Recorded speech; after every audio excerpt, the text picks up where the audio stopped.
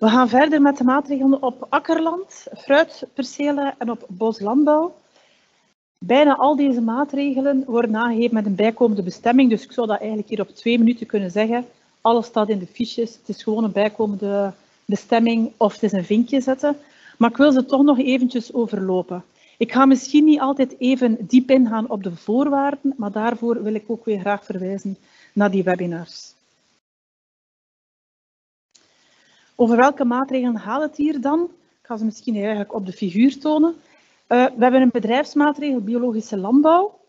Op gras hebben we dan, tijdelijk grasland, hebben we dan de meerjarige ecoteelten. Op akkerland hebben we de eenjarige en een aantal meerjarige ecoteelten. We hebben de vruchtafwisseling met vlinderbloemigen, mechanische onkruidbestrijding, organische koolstof op bouwland en onderhoud van boslandbouwsysteem. Op die erosie percelen heeft Katrien juist de bufferstroken meegenomen. Ik zal nog iets zeggen over de teeltechnische erosiebestrijdende technieken. En op de fruitteeltpercelen hebben we ook een maatregel, namelijk de meerjarige bloemenstrook in de fruitteelt. Laten we starten met de eerste biologische productiemethode op bedrijfsniveau. Dus dat is zowel een bedrijfsgerelateerde link als ook natuurlijk op de percelen zelf. Voor de biologische landbouw heb ik hier even een overzichtje gemaakt. Vorig jaar met de PDPO hadden we ook al de GVB, dus de verderzetting van de bio. Die is uitdovend. Dat betekent dat die meerjarigen, als er nog mensen zijn die een lopend contract hebben, dat die dat gewoon verder zetten onder die lopende contracten en geen omschakeling kunnen maken naar de nieuwe maatregelen. Voor omschakeling van bio, de HOB, daar hebben we wel dat er een mogelijkheid is dat de landbouwer, als hij nog een lopende verbindenis heeft, dat hij een brief zal ontvangen, dat hij een keuze moet maken of dat hij die omschakelingscontract, dat hij dat stopzet of verder zet. En dan daarnaast in het groen, de donkergroene zijn altijd de agromilieu-klimaatmaatregelen, een meerjarig, uh, meerjarige verbindenis. En dan de lichtgroene zijn de eenjarige, de eco-regelingen. Nu, voor biolandbouwers is die datum van 30 april zeer belangrijk. Niet alleen om die verzamelaanvraag in te dienen, maar ook om een steun te kunnen krijgen. En als er dus een biobedrijf is die een overname moet doen, doet dat alsjeblieft tijdig, zodanig dat zij de verzamelaanvraag voor 30 april kunnen indienen. Dus die omschakelingsdatum die moet opgegeven worden in de verzamelaanvraag. Als u wil starten dit jaar al, dan moet die de omschakelingsdatum liggen voor 30 april. En wil je dan uh, gebruik gaan maken uh, van de toepassing bio, dan moet die omschakelingsperiode al afgelopen zijn voor 30 april. Biolandbouwers die wel erkend zijn als gecertificeerd bedrijf, zij krijgen voor de gewasrotatie wel een vrijstelling. We hebben een teeltcode 17 vorig jaar al, biologische niet-landbouwgronden. Dat kan gebruikt worden voor een aantal niet-subsidiabele percelen, bessenstruiken, wildplukpercelen. En we hebben ook een nieuwe teeltcode, ik had ze daar pas al eventjes aangehaald. Dus die 899, vorig jaar werden die percelen vaak aangegeven met 951, andere groenten vers. Uh, nu hebben we die code 899 teelt van gewas of een gewasgroep met rotatie. Dus dat zijn dan voor die percelen met pluktuinen of voor CSA-bedrijven. Ook de gespecialiseerde productiemethode is weer ter beschikking dit jaar. En ook voor de champignons die niet subsidiabel zijn, maar die kunnen wel biocertificeerd worden, wordt informatie extra opgevraagd via perceel detail. Nu, de biologische landbouw onder het nieuwe GLB, die twee grote uh, blokken. Bij de omschakeling van bio, daar zijn de voorwaarden eigenlijk niet echt gewijzigd, dus ze moeten staan onder controle van biocontroleorgaan. In de vijf voorgaande jaren geen bio zijn en moet dus al in omschakeling zijn sinds 30 april. De bedragen zijn wel wat opgetrokken en worden toegekend, net als voorheen, aan bepaalde teelten. Dus grasland en meerjarige uh, voederteelten krijgen 390 euro per hectare. Voor akkerbouwteelten hebben we 900 euro. En dan de fruit, groenten, kruiden en sierteelt krijgen we daar um, ehm, 1700 euro per hectare. De nieuwe maatregel, toepassing bio, dus die is volledig losgekoppeld als de vorige HVB. Dus als je, als je vorige HVB afgelopen is en je start nu met een nieuwe uh, maatregel, dan kom je dus in die toepassing bio. Dat is een eenjarige maatregel en dus niet meer uh, meerjarig. Voorwaarde is hier wel dat je minstens één betalingsrecht moet activeren. En mocht de biolandbouwer nog geen betalingsrecht hebben, dan zal hij dat automatisch toegekend krijgen vanuit de reserve. Ook die voorwaarden hier, uh, dat ze onder controle moeten staan van het uh, controleorgaan en dat dus al de omschakeling moet uh, voorbij zijn op 30 april. De steun wordt hier niet meer toegekend volgens de teelt die op het percelen staan, maar volgens de oppervlakte. Dus voor de eerste 5 hectare kan je 200 euro per hectare krijgen.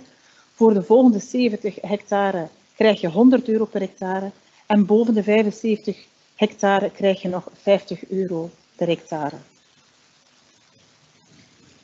Hoe geef je dat aan in de verzamelaanvraag? Ook hier gebruik je gewoon de bijkomende bestemming HOB. En voor de toepassing gebruik je dan de T-bio. Die beide bestemmingen kunnen aangevraagd worden tot 31 mei. Voor bio is het zo dat er heel veel combinaties mogelijk zijn met alle andere uh, maatregelen. Um, en dat er ook geen begrenzing is, niet op het bedrag en ook niet op het aantal maatregelen dat je op een bepaald perceel wil gaan uitvoeren. De ecoteelten dan, in onze wetgeving worden die opgenomen als milieu, biodiversiteit, vriendelijke en of klimaatbestendige teelten. Maar in de wandelgangen en ook bij de landbouwers zal die wel beter gekend zijn als de ecoteelten. Daar hebben we twee groepen. We hebben eenjarige maatregelen en we hebben meerjarige maatregelen. Um, hiervoor moet je actieve landbouwer zijn. Dit gebeurt altijd of de teelten bevinden zich op bouwland en het perceel is 30 aren. Voor de eenjarige ecoteelten zijn er vier acties. We hebben de eenjarige eiwitteelten. We hebben teelten met een ecologisch voordeel voor klimaat en milieu. Dan hebben we faunavriendelijke hoofdteelten en faunavriendelijke nateelten. Daarnaast hebben we die meerjarige ecoteelten. Daar hebben we ook de meerjarige eiwitten dan en ook nog teelten die een voordeel opleveren voor klimaat en milieu. Maar eerst dus de linkse groep, dus die eenjarige ecoteelten. Welke zijn dat? Dat zijn er degenen die dus inderdaad op bouwland zich bevinden. De eerste actie, die eenjarige eiwitteelten, daar gaat het dus over die hoofdteelt. Dat was ook vorig jaar al ter beschikking, al die pre-eco-regelingen. Um, daar staat dus de hoofdteelt, is het grootste risico dat je loopt, dat je die eiwitteelt niet als hoofdteelt aangeeft, maar dat die dus eigenlijk um, als voorteelt moet beschouwd worden. Dus als daar eigenlijk iets anders navolgt, dan is dat eigenlijk niet meer de hoofdteelt, maar zien wij dat als de voorteelt. Hier bij die eenjarige eiwitten hebben we enkel de zuivere eiwitteelten. Dat komt ook voort van de VLI-maatregel, waar je ook al die eenjarige vlinderbloemigen had. Um, er zijn zowel food en feed, maar de, de food, dus voor menselijke consumptie, is wel beperkt. Daar zijn enkel die droge oogsterten en bonen. Dus geen erwten en bonen voor de groenteindustrie komen hier in aanmerking om die steun te gaan aanvragen. Een tweede mogelijkheid is dat je dus die graanmengsels gebruikt. Dus dat zijn die metheenmengsels eigenlijk. Um, afhankelijk van wanneer dat je die dus oogst, wordt dat dus eigenlijk een voorteelt of een nateelt. Dus die graanmengsels kan net als vorig jaar enkel met voedererwten of veldbonen en in dezelfde minimale zaaidichtheden als vorig jaar. Worden die dus gevolgd door nog een teelt, zoals maïs, die ook nog een oogst oplevert, dan zijn deze eigenlijk dus die voorteelten.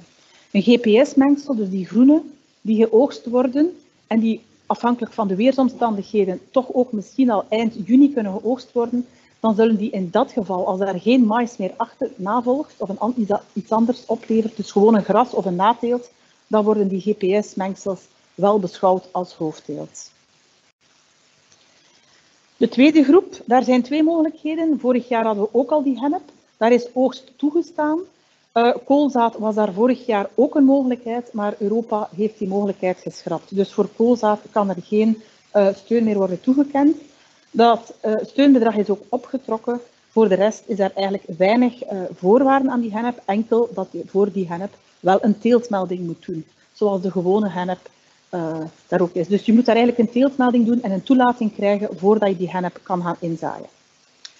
Daarnaast hebben we de groep van de gele mosterd, bladramenas en tagetes. Dat dient als rustgewas voor het perceel. Dat betekent dat er dus geen oogst kan uh, toegestaan worden.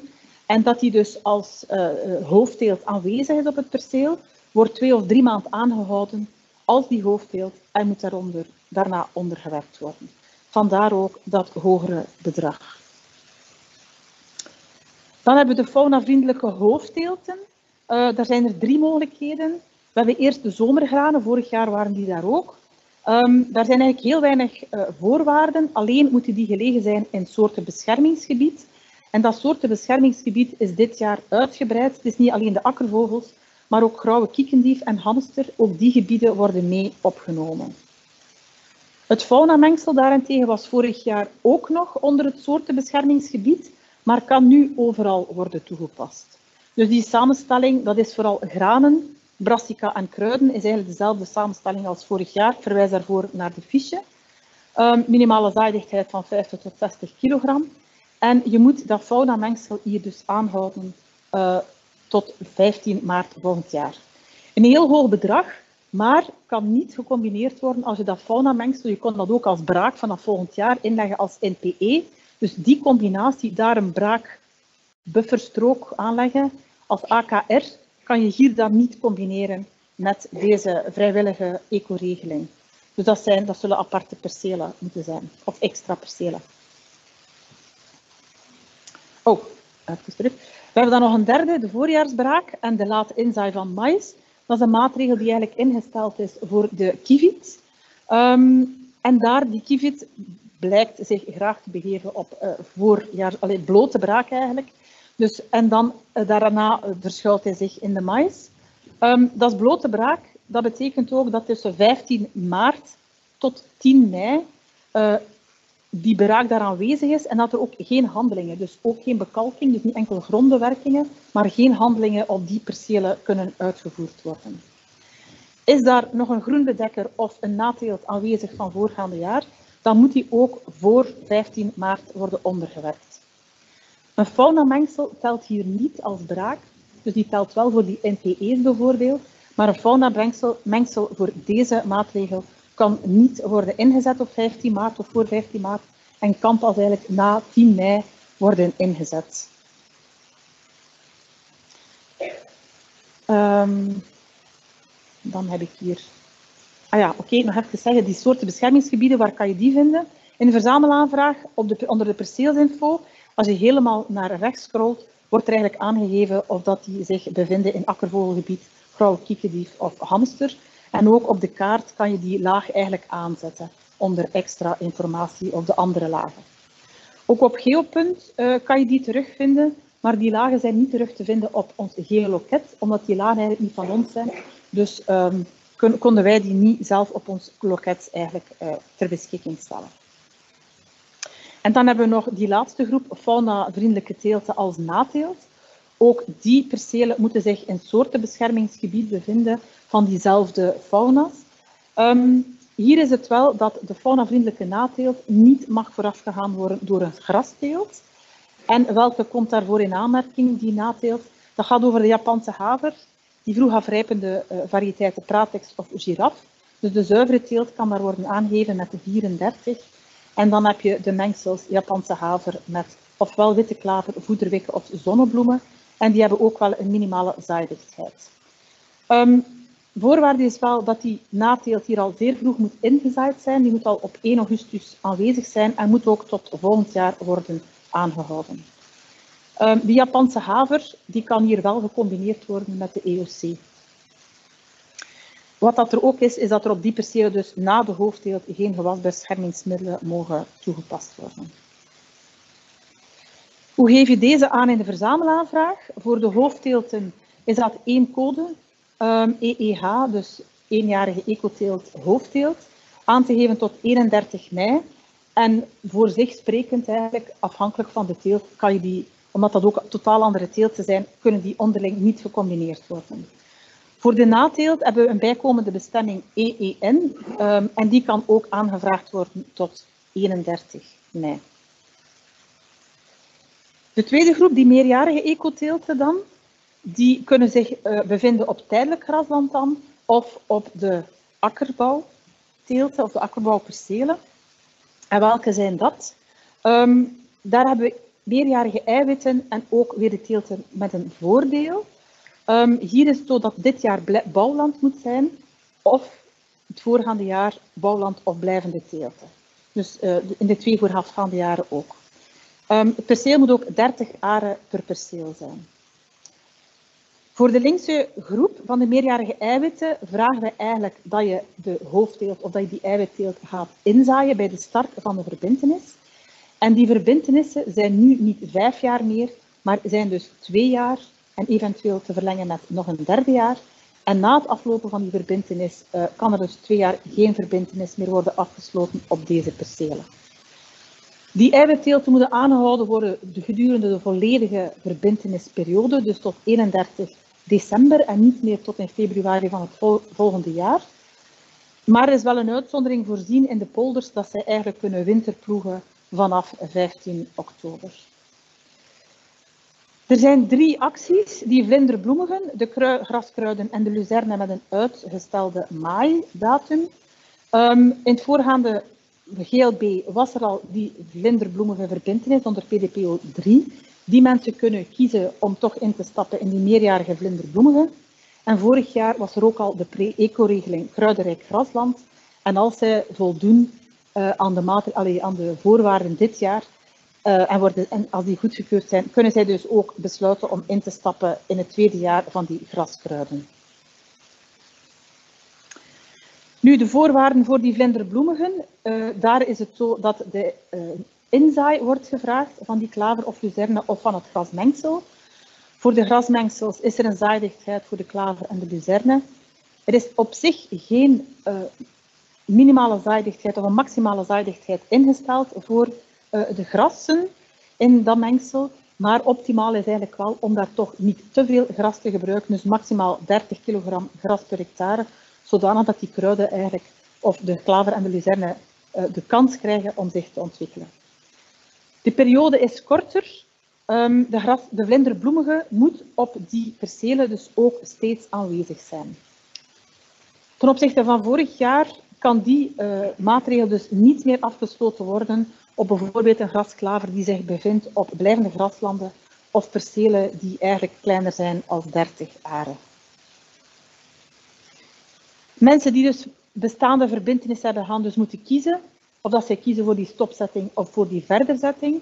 Als ze toch kiezen voor die verderzetting, dan gaat die verderzetting voor alle vliepercelen die in 2022 zijn aangegeven. Dus alle vliepercelen van 2022, daar maak je één keer een keuze voor. Ofwel zet je die allemaal stop, ofwel doe je een verderzetting en dan krijg je wel de keuze om er een aantal uit te kiezen.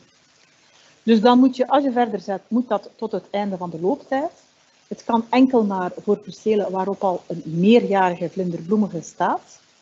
Um, uh, na het afloop van die verbindenis geldt dus ook hier dat je dus geen nieuwe verbindenis kan uh, afsluiten. Dus als dat maar één jaar meer is, tot eind 23, zal je twee jaar moeten wachten voor je de nieuwe verbindenis kan gaan uh, afsluiten.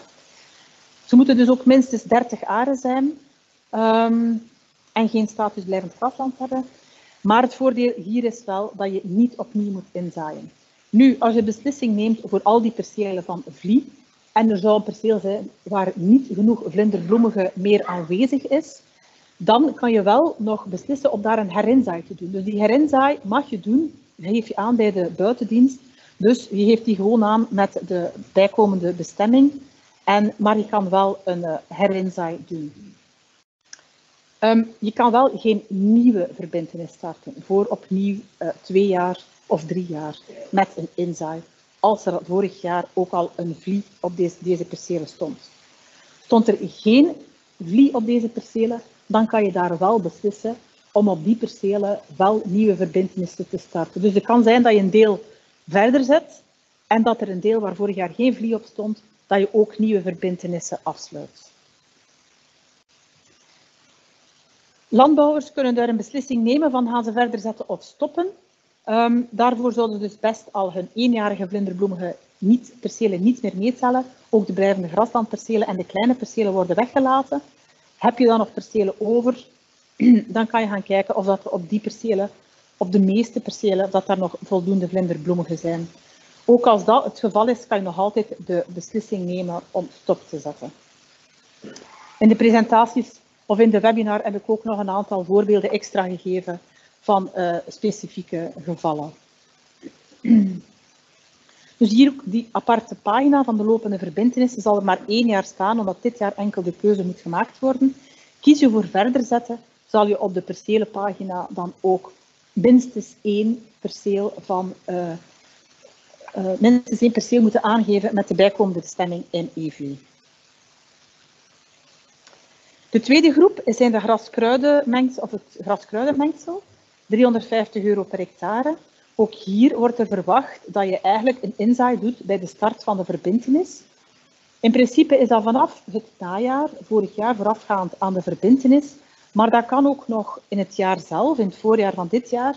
Als je dat dit jaar doet, dan is het best eigenlijk dat je daar ook dit jaar ook geen dieren laat oplopen, zodanig dat die graskruiden de uh, mogelijkheid krijgen om te ontwikkelen. De inhoud van dat graskruidenmengsel is eigenlijk hetzelfde gebleven als vorig jaar, dus ik verwijs daar graag naar de lijst voor. En ook 25% van dat gewichtspercentage moeten die vlinderbloemen en kruiden gaan uitmaken. Die uh, lijst staat ook in de toelichting, dus je moet eigenlijk voor dat graskruidenmengsel kan je een aantal grassen kiezen. Je kan kiezen uit een aantal kruiden en een aantal vlinderbloemen.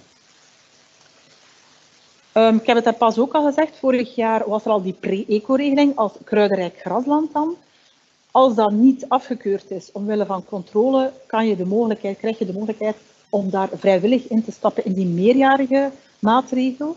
Um, dat kan voor één jaar, want dan stap je in in je tweede jaar en kan je stoppen. Maar je kan ook nog beslissen om eigenlijk nog een derde jaar aan toe te voegen. Het voordeel is hier dat je eigenlijk vorig jaar eigenlijk al die nieuwe inzaai gedaan hebt en dat je dus niet meer verplicht bent om dat dit jaar opnieuw te doen. En dan hebben we de derde actie, de luzerne, met een uitstel, uitgestelde maaidatum.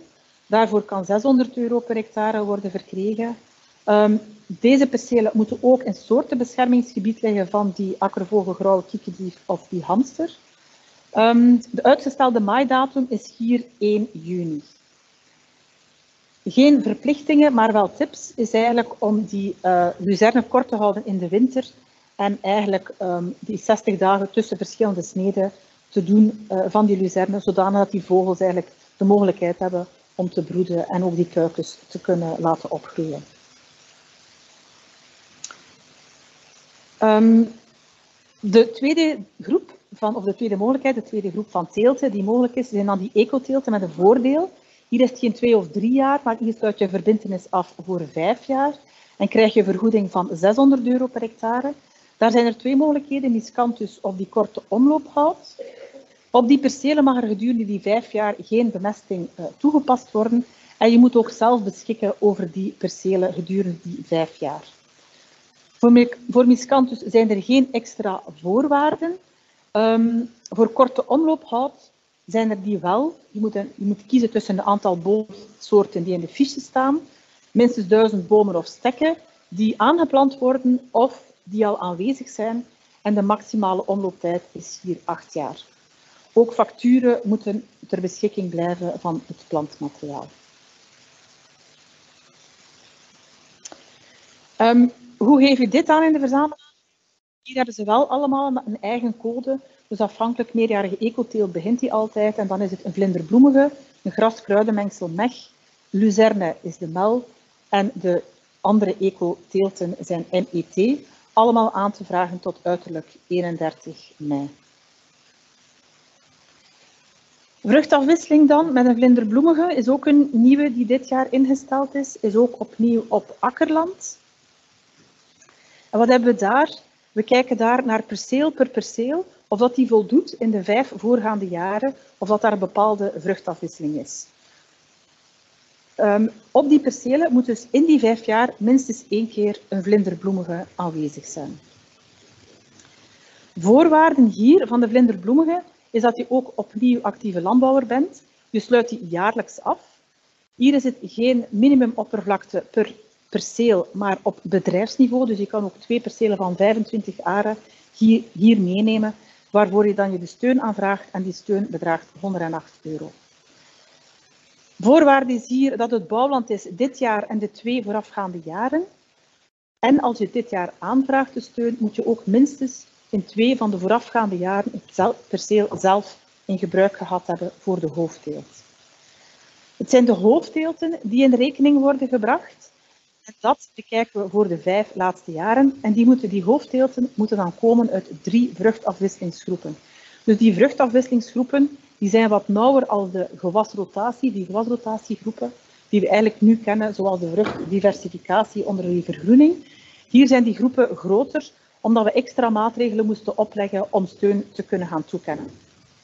En dan een laatste voorwaarde is dat je minstens één keer een vlinderbloemige op je perceel moet hebben gehad. Dus die vruchtafwisselingsgroepen zijn wat groter geworden, is ook gebaseerd op de plantenfamilies. Dat betekent dus ook dat alle granen niet meer opgedeeld worden in winter- en zomergranen. En ook niet meer een verschil tussen eh, tarwe, gerst, rogge en zo verder. Maar dat dus al die granen eigenlijk in dezelfde groep vallen. Ook de mais valt in dezelfde groep. Maar ook minder voor de hand liggende, zo bijvoorbeeld spinazie, valt ook in dezelfde groep als de suikerbiet en de voederbieten. Nu, die vlinderbloemige, daar is de mogelijkheid, wat komt daarvoor in aanmerking? Hier zie je dat ik al twee aparte blokken gemaakt heb. Dat betekent ook als u vorig jaar een zuivere vlinderbloemige had en u zet dit jaar een graskruiden, een, grasklaver in, dat u eigenlijk al beschikt over twee verschillende uh, vruchtafwisselingsgroepen. Dus daar kan ook nog een, uh, een, extra voordeel zijn als u eigenlijk een afwisseling doet. Of dat kan vier jaar geleden zijn en dit jaar opnieuw gras, grasklaver. Dan hebt u toch al twee verschillende groepen. Die zuivere uh, vlinderbloemige, dat gaat heel ruim. Um, dat zijn dus ook de uh, teeltcodes die voor teelten van vlinderbloemigen die voor de groenteindustrie worden gebruikt. Dus die tuin- en veldbonen, erten en snijbonen die voor de industrie zijn, komen hier in aanmerking als vlinderbloemigen en worden erkend als vlinderbloemigen voor deze steunmaatregel. Als je een mengsel met een vlinderbloemige doet, dan zijn er wel wat extra voorwaarden. Um, je kan de granen doen met voedererwten of veldbonen in een combinatie met de andere maatregel van eenjarige ecoteelten, die dus vorig jaar de eerste keer was en vanaf nu ook weer te verkrijgen is. Dus enkel die uh, percelen waar dat je dus ook al die steun in voorgaande jaren hebt aangevraagd, komen in aanmerking. Voor grasmengsels met een vlinderbloemige komt die sowieso in aanmerking als hij niet naar gras komt, of als hij, na, uh, of als hij toch naar gras komt, dan is de voorwaarde dat hij in het verleden ofwel een vlie agromilieu maatregel had, of de nieuwe agromilieu klimaatmaatregel, meerjarige eiwitteelt. Een aantal voorbeelden. Dus in dat eerste voorbeeld hebben we erwten met in, van uh, industrie. Dus die komt in aanmerking als vlinderbloemige. De wintertarwe en de veldbonen gecombineerd met vorig jaar een EET komt in aanmerking als vlinderbloemige. Een grasklaver die uh, gevolgd, volgt na een niet-grasklaver niet of gras uh, volgt, is een vlinderbloemige in een aparte familie. Maar volgt de grasklaver gewoon op een gras, dan valt die grasklaver in de groep van de grassen. Dus ook in het tweede voorbeeld een wintertarwe met veldbonen, die uh, zonder die bijkomende bestemming van een pre-eco-regeling of de nieuwe maatregel, dan zal die, dat mengsel, dat graanmengsel, vallen onder de groep van de granen. En in het laatste voorbeeld heb je dan grasklaver um, die wel volgt naar gras, maar je hebt in het verleden uh, een maatregel meerjarige eiwitteelt op aangevraagd, dan komt die ook in aanmerking als eiwitteelt, als vlinderbloemige. Um, wij doen zelf de check voor elk jaar. Dus u kan dit jaar, als u weet dat u heel veel mais hebt staan, dan zal u nooit aan die verschillende uh, teelten komen, of aan die drie groepen komen. Dan weet je ook dat je op dat perceel nooit die vruchtafwisseling zal moeten aanvragen. Heb je wel een zekere vruchtafwisseling, dan bestaat die kans al groter dat je dus die uh, um, subsidie kan aanvragen. Wij doen daar de check zelf. Dus wij kijken na of dat er drie verschillende vruchtafwisselingsgroepen zijn, of dat er een vlinderbloemige is. En is dat geval, dan kan je dus die steun gaan aanvragen. Volgend jaar kan je ook opnieuw een uh, grasklaver gaan inzetten. Wij bekijken weer, je kan kiezen voor die vruchtafwisseling, maar je kan evengoed, dat betekent wacht, je kan geen combinatie maken tussen de, in hetzelfde jaar tussen een vlinderbloemige vruchtafwisseling met een vlinderbloemige en iets anders waar je ook al steun krijgt voor een vlinderbloemige, namelijk de meerjarige eiwitteelt. Dus in dat geval kan je niet combineren en zal je moeten de keuze maken of dat je dus de vruchtafwisseling kiest of dat je toch maar zegt ik doe één of twee jaar en ik doe niet die meerjarige eiwitteelt, um, dan kan je kiezen om de vruchtafwisseling te gaan aanvragen. Kies je toch voor de meerjarige teelt, dan betekent dit dat je voor de volgende twee of drie jaar uh, die steun voor vruchtafwisseling niet kan aanvragen. Nu, na het aflopen van die meerjarige eiwitteelt, die agromilieu-klimaatmaatregel, mag je twee jaar geen uh, maatregel meer aanvragen, diezelfde maatregel meer aanvragen op dat perceel. Dus in dat geval kan je je wel nog baseren op die vlinderbloemige en kan je dan twee jaar op dat perceel die vruchtafwisseling gaan aanvragen. Hoe vraag je dat aan in de uh, verzamelaanvraag? De bijkomende bestemming VAV tot en met 31 mei. Nu, om toch ook een beetje zicht te krijgen op die voorgaande teelten, zullen wij in de snelinfo, tot vorig jaar waren dat maar drie teelten die wij geven, we zullen daar vier teelten van maken, zodat je eigenlijk ook al ziet wat dat daar allemaal in zit. Maar dat is een manier waar je eigenlijk op elk perceel één voor één moet gaan klikken. Wij hebben extra voorzien in de aflading, de export van de percelen naar Excel, hebben we ook voorzien dat daar extra kolommen komen waarin ook de hoofdteelt van de voorbije vier jaar staat opgelijst. Dus daar kan je eigenlijk in één keer de tabel krijgen voor alle percelen, welke hoofddeelten dat daar dan aanwezig waren. Ik heb gehad over de eenjarige eiwitteelten, over de meerjarige eiwitteelten of de meerjarige ecoteelten en dan juist over de vruchtafwisseling. En deze drie, ik ben daar een beetje fout, ik ga direct zeggen waarom, uh, die komen ook eigenlijk nog, die hebben een link met die gewasrotatie. Dus daar is die gewasrotatie, die GRMC, is daar eigenlijk een basisvoorwaarde. Ik heb het daar pas al even over gehad. Die gewasrotatie kan je in het algemeen, is er een vrijstelling vanaf 2024. Wil je nu gaan deelnemen aan deze eco-regelingen, dan zal je toch al vanaf dit jaar moeten gaan deelnemen aan die gewasrotatie. Nu, ik heb daar pas gezegd dat wij uit uh, van de kabinet toe akkoord gekregen hebben, dat wij niet mogen gaan kijken in het verleden, waar landbouwers nog niets konden gaan doen. Dus die voorwaarden over dat perceel van die vier keer dezelfde hoofddeelt, dat gaan we maar gaan toepassen vanaf 2025. Dus wat blijft er over? Enkel de voorwaarden op het bedrijf, dus dat je op een derde van je bedrijf een bepaalde gewasrotatie moet hebben. Voldoe je niet op het bedrijf, dan kan je ook voor dit jaar die steun niet krijgen, niet voor eenjarige ecoteelten en niet voor de vruchtafwisseling met vlinderbloemen. In de webinar had ik nog aangegeven dat dat ook niet kon dan voor de meerjarige ecoteelten, maar aangezien die meerjarige ecoteelten eigenlijk een meerjarige teelt is op bouwland, en dat die eigenlijk ook niet vallen onder de... Dus eigenlijk vallen als een... een die worden niet meegeteld in uw conditionaliteit gewasrotatie, uh, geldt die voorwaarde daar dus niet. Dus die gewasrotatie als basisvoorwaarde telt niet mee voor de meerjarige ecoteelten. Dus onderling zijn die niet combineerbaar, maar die eiwitteelten, ik heb het daar pas al even gezegd, die eiwitteelten kunnen wel dienen als uh, eiwitteelt voor de vruchtafwisseling in de komende jaren. Mechanisch onkruidbestrijding. Ik moet nog even voortdoen, ik heb uh, nog wel wat maatregelen te doen. Ook op akkerland. Um, vorig jaar was die er ook al onder PDPO 3. Ook die mensen zullen de keuze krijgen of dat ze willen stopzetten of verder zetten. Um, veel van die maatregelen of de voorwaarden zijn niet gewijzigd, alleen het bedrag is wat aangepast, 310 euro per hectare. Dus ook hier geen herbiciden of gewasbeschermingsmiddelen. Minimum 50 aren per bedrijf. Hoe geef je deze aan? Dus ze krijgen hier een scherm voor de, om een keuze te maken. Kiezen ze voor die verderzetting, moeten ze dus ook minstens op één perceel voor minstens 50 uh, aren op bedrijf MOB aangeven. Dus ook hier voor die nieuwe maatregel de bijkomende bestemming blijft behouden, MOB aan te geven tot 31 uh, mei. Verhogen van organische koolstofgehalte op bouwland, opnieuw op bouwland, op akkerland. Daar zijn vanaf dit jaar drie mogelijkheden. Vorig jaar hadden we ook al uh, de pre-eco-regeling verhogen van organisch koolstofgehalte op het teeltplan. Dit jaar krijgen we aanbreng van organisch koolstofgehalte op perceel en een top-up voor de streefzone. Onderling zijn deze combineerbaar. Um, voor het teeltplan zijn er eigenlijk geen wijzigingen ten opzichte van vorig jaar, dus je moet minimaal 50 aren hebben. Um, wat hier wel gewijzigd is, dat het gemiddelde hoeveelheid toegediende uh, organische koolstof uh, iets naar beneden gehaald is. Dus de voorwaarden start al vanaf 1250 en dat de bedragen iets zijn opgetrokken. En hier zal je een vinkje moeten zetten op bedrijfsniveau.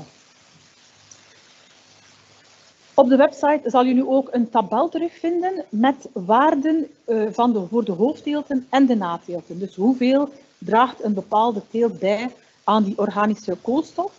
Um, voor de hoofdteelten, of voor de meeste teelten, staat ook in de laatste kolom weergegeven of dat daar, wanneer dat die groenbedekker kan ingezaaid worden, of dat die vroeg, gemiddeld of laat kan ingezaaid worden.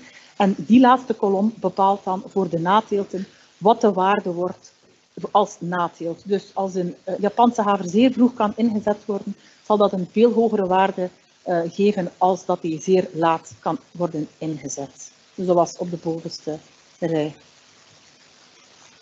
Dus hier onder plantbodem zal je op voor je perceel moeten aangeven uh, of, dat er, of dat je wil deelnemen aan de maatregelen en dan zal je opnieuw daaronder de percelen ter beschikking krijgen, welke dat voldoen. De tweede is aanbrengen van organische koolstof. Minimum uh, moet er 10 ton worden aangebracht per hectare. Um, je hebt daar verschillende mogelijkheden. Je kan compost aanbrengen voor 130 euro per hectare. Dat kan eigen compost zijn of aangevoerde compost.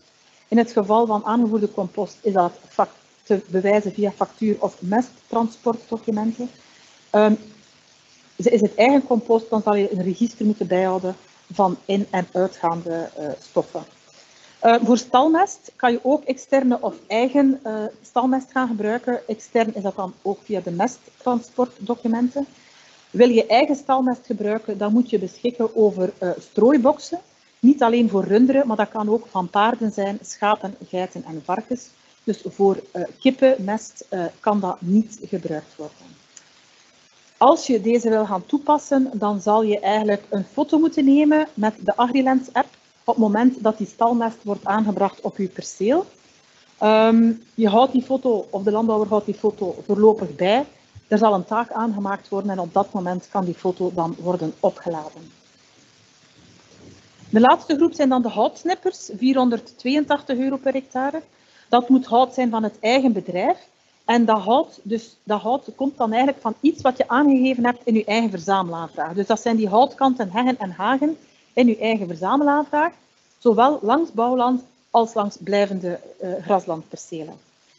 Hier die houtsnippers mag je aanbrengen. Je hebt daarvoor een grondstoffenverklaring nodig, maar die kan maar één keer om de vijf jaar op een bepaald perceel worden opgegeven.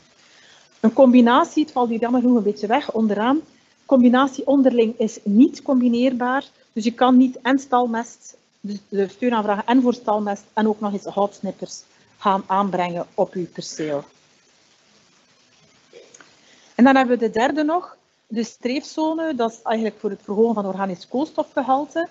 Uh, dat kan enkel maar als je één van de twee voorgaande uh, maatregelen ook al aan deelneemt en dat die ook goed zijn. Dus als je een vinkje zet bij het teeltplan, maar je bent nog niet aan die 1250 kilogram gemiddeld uh, OC, dan zal je ook niet kunnen maar die streefzone of die, die steun daarvoor kunnen ontvangen. Dus ofwel voldoe je aan teeltplan, ofwel heb je een van de maatregelen aangegeven onder OC. En dan kan je ook uh, die derde uh, maatregel um, gaan opvragen.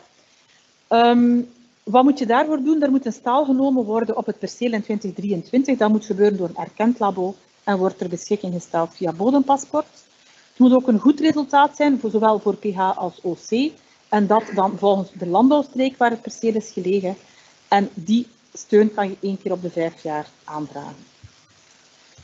Hoe geef je deze aan in de verzamelaanvraag? Net als vorig jaar voor het teeltplan gebeurt dat gewoon via het vinkje. Wil je deelnemen aan uh, die aanbreng van uh, organische koolstof, dan zal er voor 31 mei of ten laatste 31 mei een deelnameverklaring moeten uh, gebeuren. Dus je zet daar eigenlijk een vinkje voor welke van de drie dat je eigenlijk wil gaan deelnemen. Um, en dat betekent als je die deelnameverklaring hebt aangevinkt, dat er ook nog een bijkomende bestemming moet worden opgegeven. Nu, voor die bijkomende bestemming zal je die nog kunnen wijzigen tot 31 augustus. In het geval van de streefzone, dan moet je dus ofwel een vinkje zetten voor het teeltplan, ofwel een deelnameverklaring hebben voordat je ook die OCS voor die streefzone kan gaan aanvragen en wordt dan ook aangevraagd tot en met 31 mei. Dus die deelnameverklaring is er een nieuwe pagina die erbij gekomen is, is zowel voor uh, um, dus aanbrengen van uh, die organische koolstof, maar ook, ook voor het plaatsspecifiek bekalken is er een deelnameverklaring. De teeltechnische erosiebestrijdende technieken dan, dat is, ook op, dat, zijn, of dat is op de percelen die een zekere erosiegevoeligheid hebben, maar dat gaat niet voor rode en paarse percelen, dus dat kan enkel uitgevoerd worden op medium, lage of heel lage erosiegevoelige percelen. Um, op 30 aren is ook bouwland. Drie mogelijkheden, drempels, niet-kerende bewerking, bodembewerkingen en volle veld mais. Um, bij de eerste, bij de drempels, is het enkel mogelijk als er ook een ruggenteelt is als hoofdteelt. En de drempels liggen daar dwars tussen de ruggen. Bij de niet-kerende bodembewerkingen uh, moeten er bij het, op het moment van niet-kerende bodembewerking voldoende gewasresten aanwezig zijn. En dat moet ook uitgevoerd worden op het volledige perceel, bij de inzaai van de hoofdteelt. En bij volle veld mais, daar is het zo dat de afstand tussen de rijen minder dan 25 centimeter moet zijn en ook op het volledige perceel volle veld mais ingezaaid. Hoe je deze aan in de verzamelaanvraag? Opnieuw bijkomende bestemmingen, um, TED, TEN of TEV, opnieuw aan te vragen tot 31 mei. Dan hebben we voorlaatste de meerjarige bloemenstrook op fruitteelt. Dus dat gaat effectief over fruitteeltpercelen in de verzamelaanvraag. Hier zijn twee mogelijkheden. Donkergroen wil zeggen meerjarige uh, verbindenissen. Wordt ook afgesloten voor vijf jaar. Um, voor actieve landbouwers. Er mogen geen gewasbeschermingsmiddelen op de bloemenstrook worden aangebracht. En het mengsel moet bestaan uit minstens acht keer of acht verschillende één, twee of meerjarige kruiden, waarvoor ik verwijs naar de lijst in de, uh, of op de fiche. Twee mogelijkheden. Je hebt de bloemenstroken tussen de rijen. Daarvoor kan een bedrag van 82 euro per hectare worden toegekend. Um, 82 euro per hectare, dat betekent die bloemenstroken worden niet apart ingetekend, maar het volledige perceel, de boomhaard, wordt ingetekend. En dat bedrag krijg je dus voor de volledige boomhaard. Die bloemenstroken zijn aanwezig om de drie rijen. Dus één rijtje bloemenstrook is niet voldoende. Dus om de drie rijen op het volledige boomhaardperceel moeten die aanwezig zijn. Het fruitperceel moet wel minstens 30 aren zijn en de bloemenstrook op zich minstens 1 meter. Um, als je wil bespuiting doen op de fruitbomen zelf, dan kan dat. Er zijn een aantal uh, mogelijkheden, maar dan gebeurt dat ook zeker in samenspraak met de begeleidingsdienst. Kies je om een bloemenstrook aan te leggen op de rand, dan moet die apart worden ingetekend en daar krijg je dan een zeer hoog bedrag voor, 10.160 euro, maar is dus ook enkel en alleen beperkt tot deze bloemenstrook. Die bloemenstrook kan worden aangelegd door één rij bomen, fruitbomen te rooien of bij aanleg van een nieuw fruitperceel door één rij niet aan te leggen. Die strook moet minstens 3 meter zijn en maximum 6 meter breed. Dat kan alleen maar langs een perceel dat je ook zelf hebt aangegeven in de verzamelaanvraag. Dus uw eh, landbouwer, buur, kan niet een bloemenstrook aanleggen langs het fruitperceel van de fruitboer en daar de premie op aanvragen. Dus hij moet ook een eigen fruitperceel in zijn verzamelaanvraag hebben aangegeven. De aanleg van die bloemenstrook moet gebeuren in het najaar van de verbintenis. Hoe geef je deze aan um, in de verzamelaanvraag? Twee bijkomende bestemmingen op de percelentabel BFB. Dus dat wil zeggen dat je daar de hoofdteelt van de fruitteelt aangeeft en dat je eigenlijk een bijkomende bestemming toevoegt. Voor de bloemenstrook de rand, daar geef je eigenlijk dat bloemenstrook aan met de code 9831 en dan ook de bijkomende bestemming. Op zich zijn deze twee maatregelen niet combineerbaar, omdat dat niet gaat op eenzelfde perceel. Maar die percelen worden, dus de bloemenstrook wordt apart ingetekend, die kan liggen naast het fruitperceel. Dus op zich, op datzelfde fruitperceel van vorig jaar, zijn wel de twee maatregelen te doen. Dus de ene op het fruitperceel met die tussen de rijen, en op het andere, afge, zelfs opnieuw ingetekend perceel, kan je daar dan wel uh, die bloemenstrook aanleggen. En dan boslandbouwsysteem.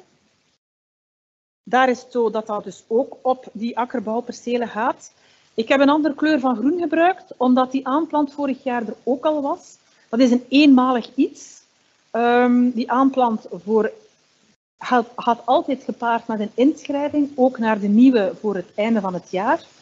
Er is wel een wijziging in het nieuwe GLB, dus voor die aanplant is die eenmalige vergoeding, uh, niet, zal die niet meer 80% zijn, maar 75%. En dit jaar heb je dan nog een forfait aan te vragen van 200 euro per hectare. Vanaf nieuwe, dus aanvragen, de inschrijvingen van uh, najaar 23, zal je voor die arbeid 8 euro per boom kunnen ontvangen. Um, die aanplant, dat gaat voor percelen voor minstens 30, uh, 50 aren per perceel. Het landbouw, moet ook een landbouwperceel zijn in de twee voorafgaande jaren. Um, kan nu tussen minimum 30, maar maximum 200 bomen per hectare. En geldt niet voor laagstand fruit, naaldbomen en invasieve soorten. Ook voor hoogstand zijn er nog bepaalde voorwaarden die in de fiche staan. Eén keer kan je dus die, aan, die uh, steun aanvragen, maar je moet wel nog tien jaar lang de hoofdteelt tussen die boslandbouwsystemen uh, gaan opgeven. Nieuw is dit jaar dat er uh, nu ook onderhoud wordt voorzien, dus een agromilieu-klimaatmaatregel. Dat is dan vijf jaar verbindenis op datzelfde perceel. Daar krijg je 270 euro voor per hectare. En dat kan dus zijn op bestaande BLS-percelen. Uh, dus de snoei en het onderhoud van die stroken worden hier vergoed. En op die percelen mag je dus geen herbicide toepassen. Voor de verzamelaanvraag, um, voor die aanplant, heb je daar wel een apart uh, pagina voor. Dus daar geef je een vinkje aan en geef ook nog de bijkomende bestemming in het eerste jaar, die BLS, aan als betalingsaanvraag voor 31 mei. Voor de onderhoud heb je dan die bijkomende bestemming BLO. Dus die aparte pagina's, uh, voor aanplant heb je een aparte pagina, geef je eigenlijk daar je kosten op, net als vorig jaar. En geef je daar iets aan, moet je ook je betalingsaanvraag nog doen, dus ook je BLS aanvragen voor 31 mei. En dan voor het onderhoud heb je gewoon de bijkomende bestemming, maar de bijkomende bestemming BLO, als je die aangeeft voor 31 mei, zal je wel nog extra info worden gevraagd, namelijk in welk jaar werd die aanplant gedaan van BLS-systeem, uh, welke boomsoorten staan erop en hoeveel uh, van die bomen zijn daar aanwezig. Voilà, dat is het eerste deel voor de pauze. Um, wel wat informatie, misschien even tijd om te pauzeren.